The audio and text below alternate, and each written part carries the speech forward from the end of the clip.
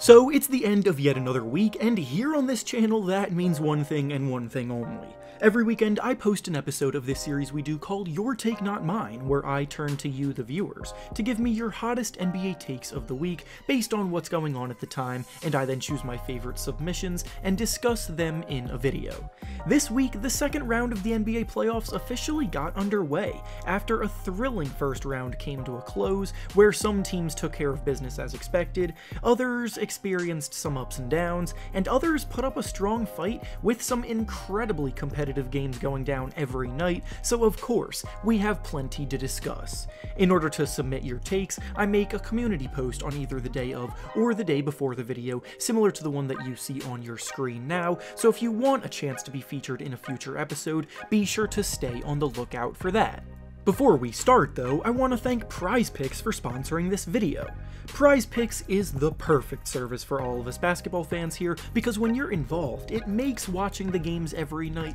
so much more fun and engaging. Basically, it's an application that provides you with lines on all kinds of individual player props, such as points, rebounds, assists, three-pointers made amongst others, and you simply have to choose whether you believe they will record over the set amount in the line or under the set amount in the line. Make your selections, wager however much you want to, and if your picks hit, you can win some big money. For some picks that I'm looking at making for today's slate of games, I'm thinking of going with James Harden to score over 23.5 points, Bam Adebayo to grab over 9.5 rebounds, and Tobias Harris to make over 1.5 threes. If this sounds at all intriguing to you, then go use the link down in the description of the video to sign up today and use promo code REFERENCE to receive a 100% deposit match bonus up to $100. Once again, thank you to Prize Picks for sponsoring this video. Now let's get back to the topic at hand. The first take we'll be discussing today comes to us from an account by the name of James Harden, funnily enough, and they say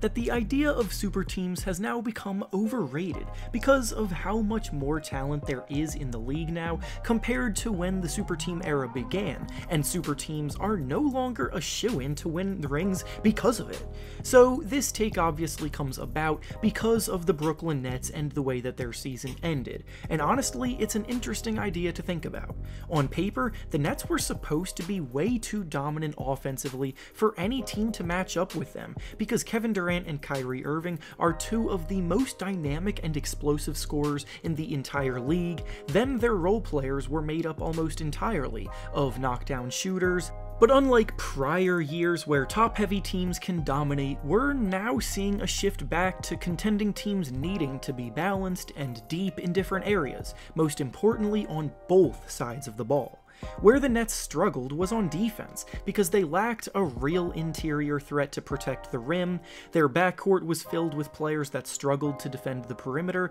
and with that kind of combination, it won't matter how many points you score if you're giving up more on the other end. Now, bringing it back to the idea that some teams today being more talented than in the past, I think this notion actually does apply in the sense that role players today are much better scorers and shooters of the basketball than they used to be, and it's because the game has shifted more towards shooting three-pointers than ever before, so young players are training their shooting much more than they used to. There are way more 20-point scorers in the league today than there were just 10 years ago, which I feel like it backs that up. And because there is so much offensive talent in the league now, being able to dominate defensively is becoming more important than ever, hence why the Nets failed and teams like the Celtics and Bucks are favored to come out of the Eastern Conference now.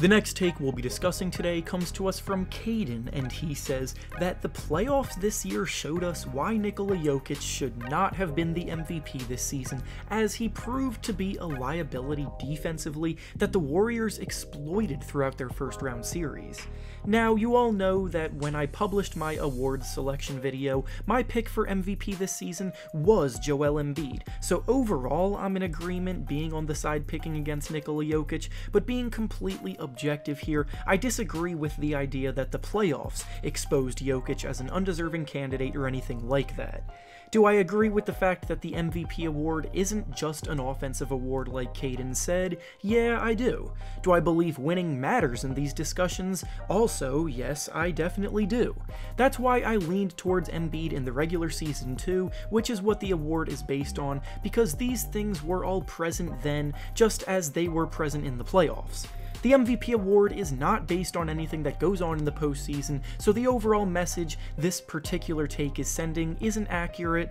but if anything, it just brought to light on a bigger stage the flaws that got largely ignored throughout most of the regular season. Jokic is an improved defender, but he is not a good defender, and I don't care what the advanced metrics say because the fact of the matter is that most of those metrics the people use to try to say that Jokic is a good defender don't accurately measure defensive impact impact and get heavily skewed by things like rebounding, which isn't what defense is, it's rebounding that's something separate. Hence why Andre Drummond in his Pistons days used to always rank near the top of those kind of rankings as well, despite not being a great defender either. Jokic is still absolutely a valid MVP candidate, but for all of the reasons I just discussed, it's why he was not my personal selection.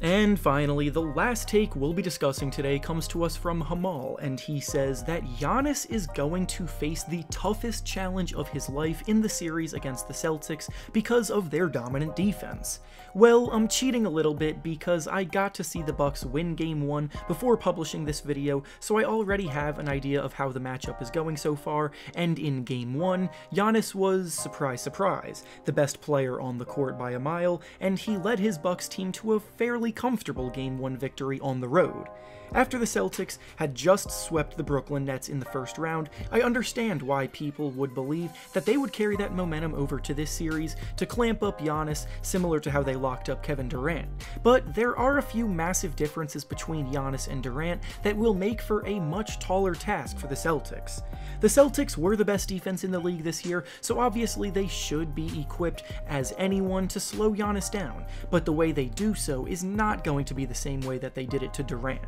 Durant is not a physical player like Giannis is, and he naturally likes to settle for jumpers as is because of how skilled he is as a shooter at his size. But the Celtics outmuscled him on the ball and made those jumpers that he settled for as difficult as possible. Giannis, on the other hand, doesn't settle for jumpers like that nearly as much, and you probably can't bully him like that because he's the one who typically does the bullying.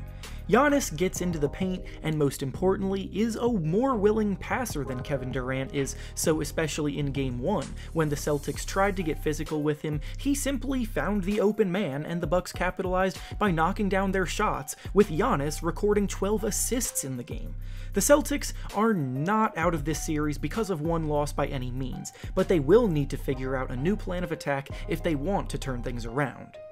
And with that being said, that's all I have for you today. Make sure to like the video, subscribe to the channel, and comment down below what you think about the takes we discussed. Thanks for watching, and I'll see you all next time.